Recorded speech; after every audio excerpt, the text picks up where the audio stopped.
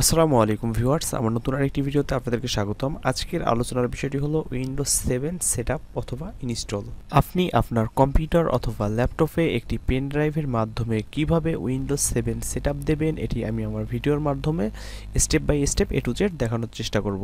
প্রথমে আমি আপনাদেরকে দেখানোর চেষ্টা করব, আপনারা কীভাবে উইন্ডোজ সেভেন আইসো ফাইলটি ফ্রি ডাউনলোড করবেন। এরপর আপনাদেরকে দেখানোর চেষ্টা করব, আপনারা কীভাবে পেন ড্রাইভটি বুটেবল করবেন। এরপর আপনাদেরকে দেখানোর চেষ্টা করব, আপনি যদি আপনার কম্পিউটার অথবা ল্যাপটপের বুট অপশন কিটি না জেনে থাকেন, তাহলে আপনারা কীভাবে এই বুট অপশন কিটি বের করবেন? এরপর আপনাদেরকে দেখানোর চেষ্টা করব, আপনারা কীভাবে আপনাদের কম্পিউটার অথবা ল্যাপটপে উইন্ডোজ সেভেন পেন ড্রাইভের মাধ্যমে ইনস্টল অথবা সেট দিবেন।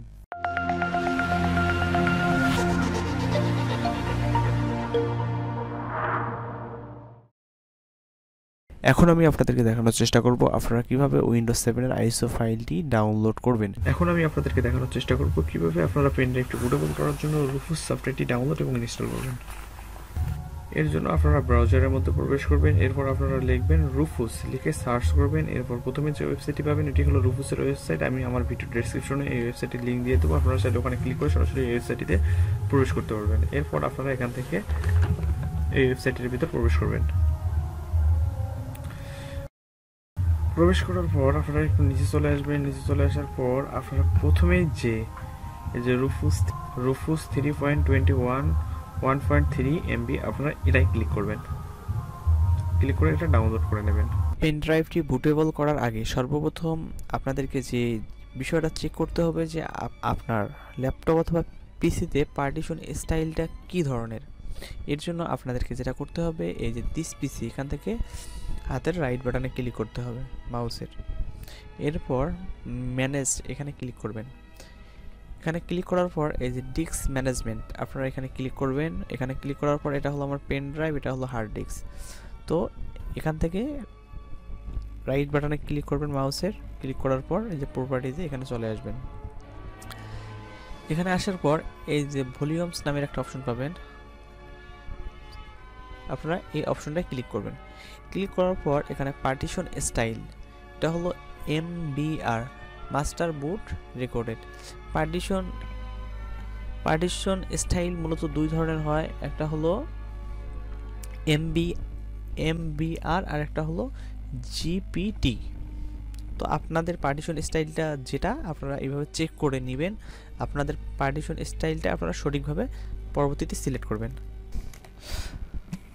আমি উইন্ডোজ সেভেনের আইএসও ফাইলটি এবং বুটেবল করার জন্য সফটওয়্যারটি আমি আগেই আলাদাভাবে ডাউনলোড করে রেখে দিয়েছি।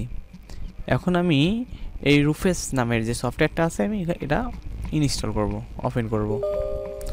তো আমাকে এখন ইয়েস করতে হবে। ইয়েস করলাম।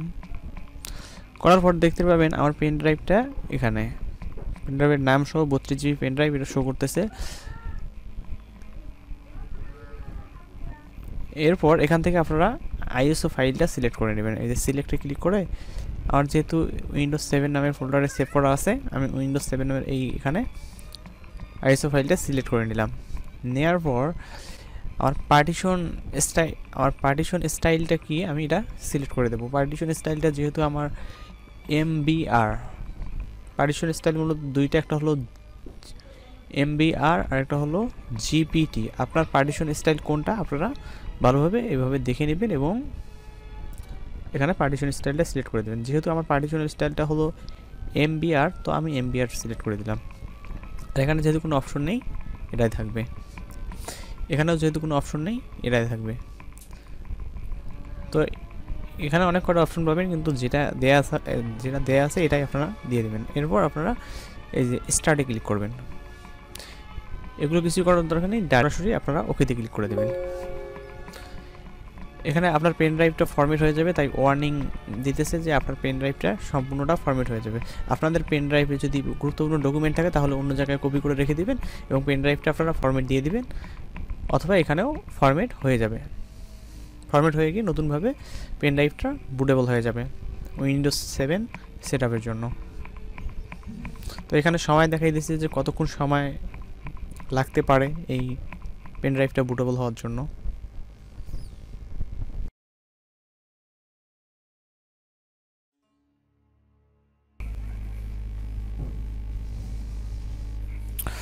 তো পেন ড্রাইভটি বুটেবল হয়ে গেছে এই যে রেডি তো আমার সময় লেগেছে মোট তেরো মিনিট আটান্ন সেকেন্ড।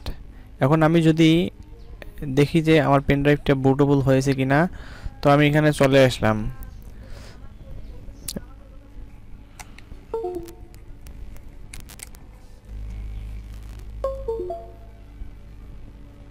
যে পেন ড্রাইভটা খুলে লাগালাম, দেখতে পাবেন যে আমার পেন ড্রাইভটি বুটেবল হয়ে গেছে।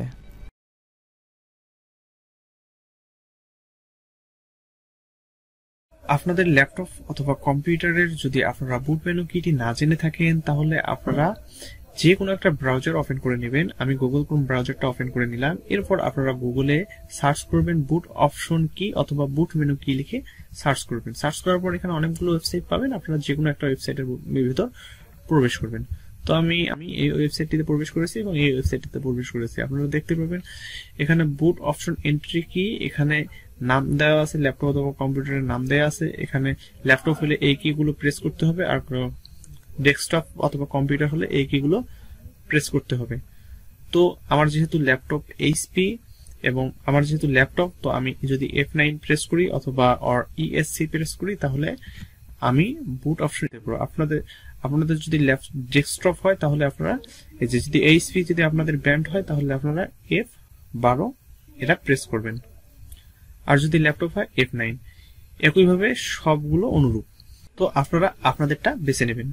এখানে যদি আপনাদের ল্যাপটপ অথবা কম্পিউটারের নাম না থেকে থাকে, তাহলে আপনারা অন্য কোনো ওয়েবসাইটে ঘুরে দেখতে পারেন। অথবা গুগলে আপনাদের ল্যাপটপ অথবা কম্পিউটারের নাম লিখে সার্চ করবেন। আশা করি আপনারা পেয়ে যাবেন। এখন আপনারা আপনাদের বুটেবল পেন ড্রাইভটি আপনাদের কম্পিউটারে অথবা ল্যাপটপে লাগিয়ে নিয়ে আপনাদের কম্পিউটার অথবা ল্যাপটপটি বদ্ধ করবেন। আপনাদের ল্যাপটপ অথবা কম্পিউটারটি বদ্ধ হয়ে গেলে আপনারা ল্যাপটপের অন বাটনে প্রেস করে আপনাদের বুট অপশন কিটি আপনারা প্রেস করতেই থাকবেন। আমার ল্যাপটপটি এইচপি এবং আমার ল্যাপটপের বুট অপশন কি হলো এফ নাইন তো আমি এটা প্রেস করলাম। আপনারা আপনাদের ব্যান্ড নেম অনুযায়ী বুট অপশন কিটা চাপ দেবেন। অপশনে চলে আসলে আপনারা USB hard drive one USB disk এটা সিলেক্ট করে দেবেন। ফোর এখানে আপনারা কিবোর্ড থেকে এবিসি ওয়ান টু থ্রি যে কোনো একটা কি প্রেস করে দেবেন। এরপর আপনাদের আপনাদেরকে এখানে কিছু করতে হবে না জাস্ট পাঁচ থেকে দশ সেকেন্ড অপেক্ষা করতে হবে। এরপর আপনাদেরকে এখানে এক থেকে দুই মিনিট অপেক্ষা করতে হবে। ভিডিওটির সময় কমানোর জন্য ভিডিওর স্পিড বাড়িয়ে দিয়ে আপনাদেরকে দেখানোর চেষ্টা করা হয়েছে। এবং ভিডিওটি মোবাইল ক্যামেরা দিয়ে ভিডিও করা হয়েছে। আপনারা যদি কোনো অংশ না বুঝে থাকেন, তাহলে কমেন্টে জানিয়ে দেবেন।